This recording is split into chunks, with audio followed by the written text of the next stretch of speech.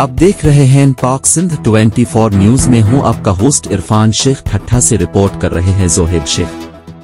घारों में चार माह कबल मुसल्ह अफराद के हाथों कत्ल होने वाले मखदूम अब्दुल खालिद के कातिलों की अदम गिरफ्तारी के खिलाफ लवाहिकीन और सहाफियों ने नेशनल प्रेस क्लब घारों से मखदूम आबिद कुरैशी।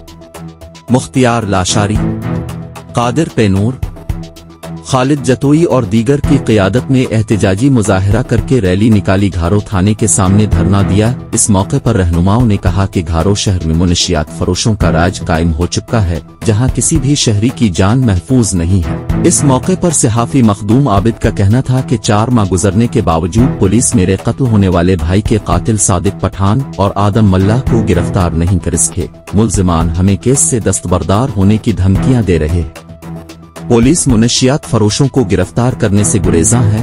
मुजाहरीन ने वज़ीर आला सिंध, वज़ीर दाखिला, M P A Haji Ali Hasan Zardari से मुतालबा किया कि मुनशियात फरोश कातिलों को गिरफ़्तार करके कैफर किरदार तक पहुँचाया जाए। वरना हमारी एहतजाजी तहरीक और भी मज़बूत होगी।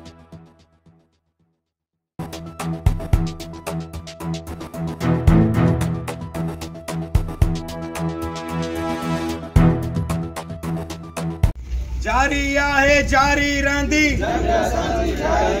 जारी आहे, जारी रहंदी। जैसी रात अंधारी रहंदी।